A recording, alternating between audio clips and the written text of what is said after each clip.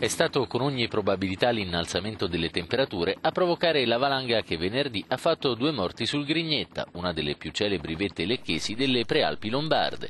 Questa l'interpretazione del soccorso alpino locale, alla luce del rischio di slavine praticamente nullo, constatato il giorno della tragedia esclusa in ogni caso la pista dell'imprudenza. All'attivo anni di montagna e missioni, Ezio Artusi e Giovanni Giarletta, le due vittime, erano volontari del soccorso alpino con all'attivo numerosissimi interventi.